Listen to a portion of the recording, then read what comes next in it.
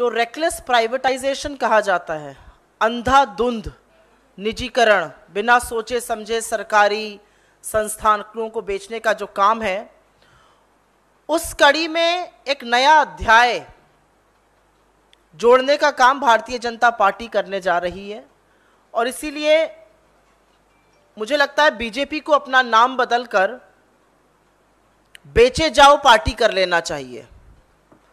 और ये कारण है कि हम इसको बेचे जाओ पार्टी बुला रहे हैं। अब पता चला है कि सरकार ने यह निर्णय लिया है कि जिन सरकारी बैंकों को वो बेचेगी, उसमें से पूरी तरह अपना शेयर निकल, बेचकर निकल जाएगी। ये वो सरकारी बैंक हैं जिसमें पहले इक्यावन प्रतिशत होना चाहिए था, फिर ये बात हुई कि छब्बीस छब्बीस प्रतिशत स्टेक हो अब ये बात है कि सरकारी बैंकों को पूरी तरह बेच दो।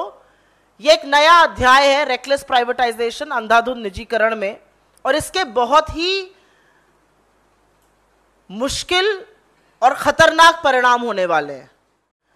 बैंकों का जब नेशनलाइजेशन हुआ उन्नीस सौ उनहत्तर में, मुझे लगता है आज़ाद भारत में इकोनॉमिक पॉलिसी में सबसे बड़ा और शायद सबसे साहसी निर्णय इंदिरा जी ने लिया था।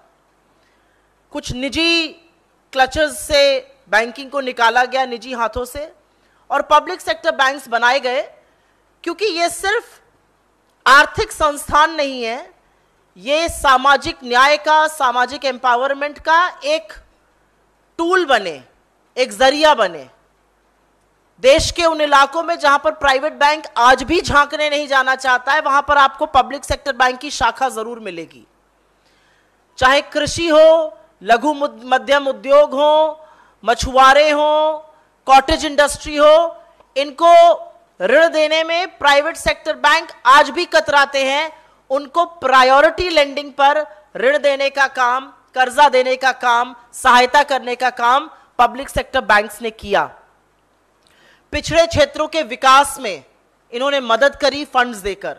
तो पब्लिक सेक्टर बैंकों को सिर्फ़ एक आर्थिक संस्थान के रूप में नहीं, सामाजिक न्याय, सामाजिक सशक्तिकरण का एक माध्यम बनाकर देखना पड़ेगा। और उससे पलड़ा झाड़ लेना सिर्फ़ एक अनैतिक और गैर जिम्मेदार सरकार कर सकती है। ये जो परंपरा है, बेच डालो बेच डालो, सेल लगा दो फायर सेल लगती है, वो कर दो इंडिया ऑन सेल कर दो बेचे जाओ, पार्टी की ये जो परंपरा है उसके डीएनए का पार्ट बनता जा रहा है। और ज़्यादा दूर जाने की ज़रूरत नहीं, पिछले दो महीने में ही उठाकर देख लीजिए क्या क्या किया है। इस देश के हर व्यक्ति को किसी चीज़ पर विश्वास हो ना हो एलआईसी पे विश्वास ज़रूर होता है। और उसकी लाइन भी है, ज़िंदगी के बाद भी, ज़िंदगी के साथ भी।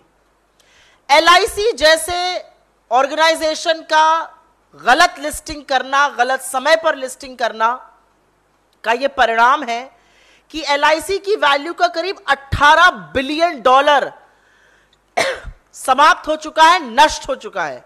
यह उसके वैल्यूएशन का एक तिहाई हिस्सा है। इसका जवाब कौन देगा?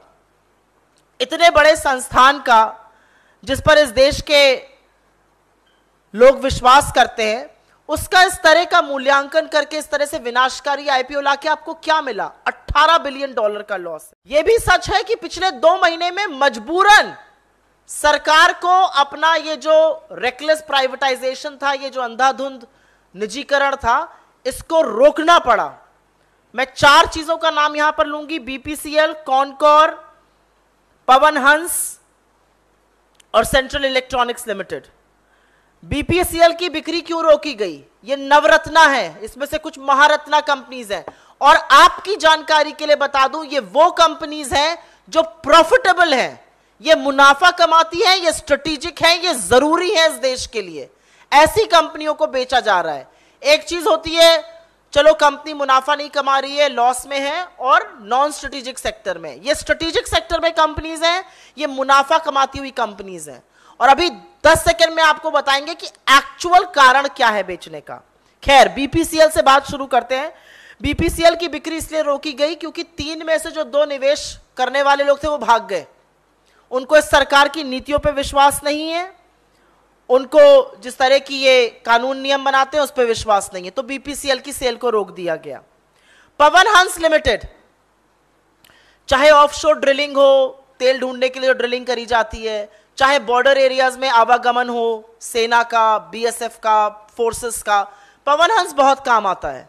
पवन हंस की इक्यावन प्रतिशत भागीदारी एक ऐसी कंपनी को बेच दी गई जिसके खिलाफ एनसीएलटी कोलकाता ने फैसला सुनाया हुआ है।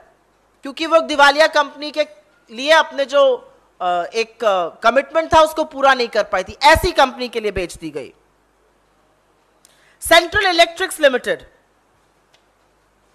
ये साइंस एंड टेक्नोलॉजी मंत्रालय का एक पीएसयू है क्रिटिकल मटेरियल प्रोवाइड करता है डिफेंस को एनर्जी डिपार्टमेंट को एनर्जी प्रोग्राम्स को इंडिया के और रेलवेज को।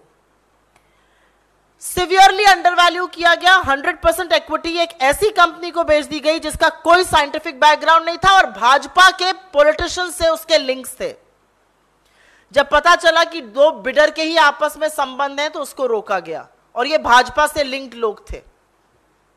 और container corporation of India Concor जो रेलवे का एक पार्ट है, कांग्रेस ने इसी प्लेटफॉर्म से उसके खिलाफ लगातार आवाज़ उठाई थी।